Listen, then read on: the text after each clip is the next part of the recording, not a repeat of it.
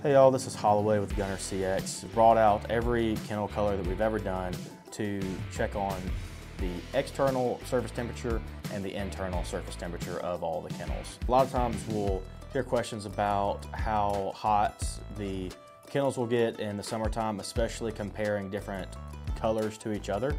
So what we've done is brought all of the kennels, all the different colors that we've ever made out to test the differences between them. While the external surface temperature might vary a little bit, the internal temperature is relatively the same across all the kennels. And that is primarily because our kennel is um, the first and only double wall rotomolded kennel that there is. Because there are those two walls, there's the layer of air in between the walls that regulates the internal temperature uh, better than any of the other kennels on the market. One thing that stands out to us the most is that the black kennel, while the external temperature is hotter than the rest of them, which is kind of what we'd expect, um, the internal temperature is about the same as all the rest of them.